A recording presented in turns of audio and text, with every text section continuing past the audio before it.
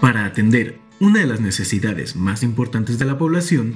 el Gobierno de México está llevando a cabo el programa La Escuela es Nuestra, a fin de entregar directamente recursos para la construcción, mantenimiento y equipamiento de los planteles de educación básica. Este programa funciona a través de la entrega directa y sin intermediarios de los recursos económicos a las comunidades escolares, a través de un comité escolar de administración participativa,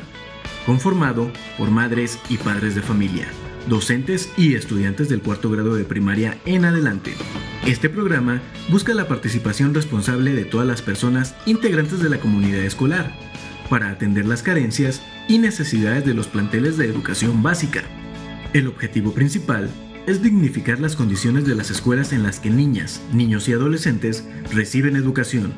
evitando la corrupción en el manejo del presupuesto destinado a la infraestructura educativa y fomentando el uso honesto de los recursos a través del trabajo colectivo de las comunidades.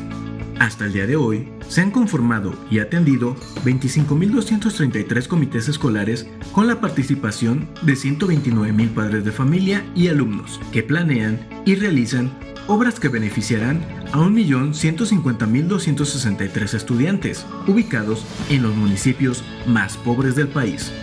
De los comités conformados, 22.969 mujeres han tomado la responsabilidad de administrar y resguardar los recursos económicos como tesoreras, lo que representa el 95% de los comités, y que rendirán cuentas a sus propias comunidades para garantizar la transparencia y el trabajo en equipo.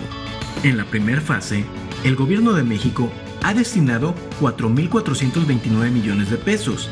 y 19.700 comités ya disponen de los recursos asignados y han iniciado los trabajos y acciones acordados en sus asambleas.